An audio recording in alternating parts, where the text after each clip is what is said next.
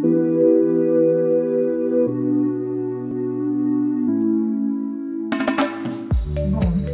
as minhas fotos, eu primeiro seleciono elas no rolo da câmera, as minhas preferidas, isso vocês já devem estar acostumados a ouvir. Vamos pegar essas aqui, essas várias fotos que a gente tira do rolê, e aí eu tento selecionar a minha favorita deste, desse ambiente. Vamos ver qual que é. Como vocês podem ver, são muitas opções, tá? Eu acho que é esta aqui, essa aqui. Aí, o que, que eu faço? Primeiro, eu edito pelo iPhone. Então, eu entro em luz, tento dar uma aumentada nessa luz. Ó, se você coloca muito, fica ruim.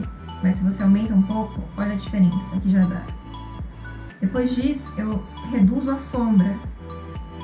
Eu dou uma diminuída aqui, ó. Pouco, sutil. Depois em contraste também eu faço a mesma coisa. Às vezes eu mexo nesse altas luzes, eu acho interessante também. Dá uma contrastada maior na, na saturação das fotos. Depois disso, dou um ok. Ela já salva em automático. Vou aumentar esse brilho melhor, né? O aplicativo que eu mais uso é o Visco. Todo mundo já ouviu falar sobre ele. Então, vamos subir essa foto pra cá. Subindo ela pra cá. Eu vou colocar as outras da sequência pra vocês entenderem uma lógica do que eu faço. Que deixa tudo muito mais prático. Subir várias delas ao mesmo tempo.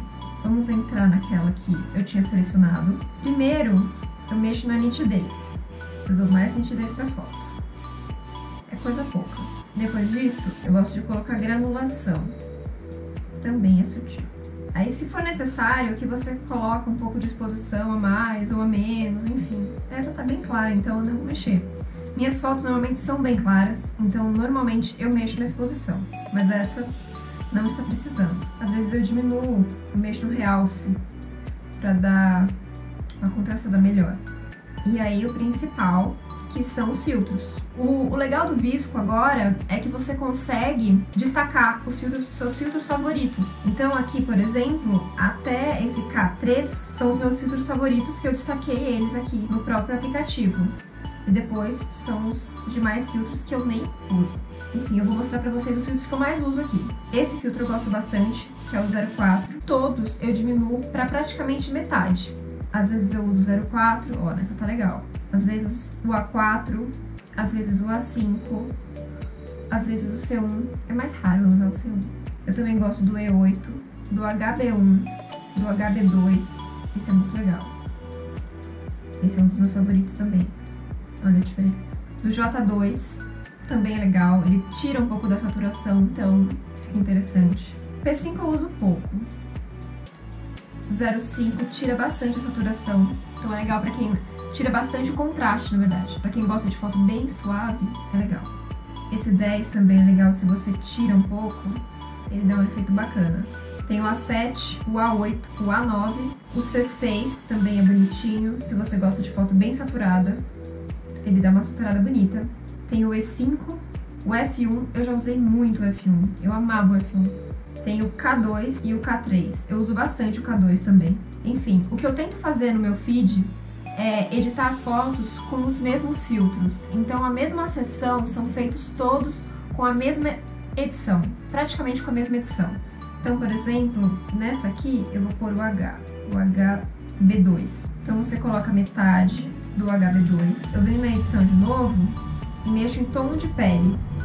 Eu sempre gosto de deixar um pouquinho mais para rosado, porque ó, a diferença. Se eu deixo para cá, ele fica mais amarelado e pra cá é mais rosado um pouco. Então eu sempre mexo nisso e acho que já tá bom. E aí que vem o pulo do gato. Você pega essa edição do Visco e põe copiar edições. E joga nas demais fotos que você tem interesse. E põe colar. E aí ele automaticamente vai colar em todas as outras. E claro, às vezes a exposição, o sol aumenta, o sol diminui, então a exposição às vezes você precisa dar uma editada. Por exemplo aqui, ó. Você dá uma editada, aumenta a saturação. E aí você, por exemplo aqui, ó, eu vou copiar a edição e vou jogar nas demais. Então assim fica muito mais fácil de você editar um lote inteiro. Fica muito mais simples de fazer essa edição. Eu gosto do visco porque eu sou meio preguiçosa pra editar uma a uma e. Então, eu costumo editar todas elas juntas com, esse, com essa função de lote. E aí, para salvar, você clica em todas que você quer salvar e você também pode salvar em lote, salvar no rolo da câmera.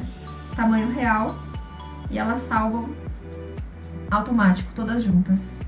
Isso simplifica muito, porque normalmente quando eu saio com o César a gente faz as fotos do Fizemos um Rolê ou para os nossos instas, a gente tira muita foto. Então quando eu edito, eu edito todas juntas fica muito mais rápido.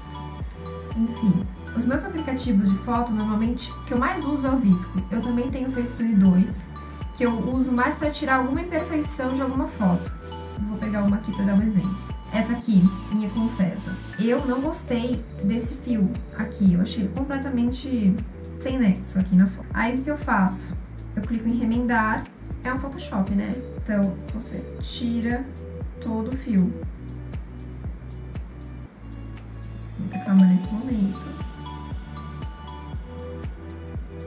Cadê o outro lado do negócio? Aqui. e você dá um ok. Por exemplo, aqui. Ainda tem que continuar. Remendar. Vamos remendar aqui. Ó. Ele copia de um lugar do que você, da sua expectativa e coloca no lugar que você quer. Ainda não tá legal. Vai devagar que você chega lá. Não tenta fazer de uma vez tudo. Ó, aqui tá estranho. Aqui vai ficar estranho. Tem que voltar menos. dá um ok, e aí você vem retocar. Você consegue dar uma suavizada em todos as, os defeitinhos principais que você enxergar. Ó, por exemplo, aqui, aqui em cima. Dá pra branquear também. Você pode branquear aqui, pode branquear aqui, ó, dá pra branquear mais aqui, enfim. Olha a diferença. Estava assim, ficou assim. Ó, fica bem melhor. Então aqui também dá pra salvar no rolo de câmera. Então, o Facetune, normalmente, eu uso só para casos extremos. E aqui tem que ser uma a uma, então é só para casos específicos. Eu não sou do tipo que fica editando a cara, editando o nariz, editando não sei o quê, porque eu não tenho paciência. Então, eu prefiro aparecer como eu vim ao mundo, só com umas make, né? Vocês não são obrigados. Ah, muito importante, muito importante. Para organizar o feed, como vocês podem ver aqui, esse feed todo arrumado, todo organizadinho, eu organizo no Snug. Esse Snug salva a minha vida. Eu consigo organizar em lotes também. Eu gosto de coisa eficiente, gente. Gosto de acelerar o processo. Não gosto de coisa que, que me empaca a vida. Então eu vou subir uma foto aqui só pra vocês entenderem. Ó, por exemplo, o meu, o meu feed parou aqui, nessa foto. Então eu já tenho a sequência das, das demais fotos que eu quero postar, todas em ordem. Assim fica muito mais fácil, porque eu salvo o lote do bisco e já trago direto pra cá e salvo elas aqui e organizo do jeito que eu quero meu feed. E aí durante o dia eu posso só ir postando, não preciso me preocupar em como vai ficar no feed. Bom, eu acho que é isso.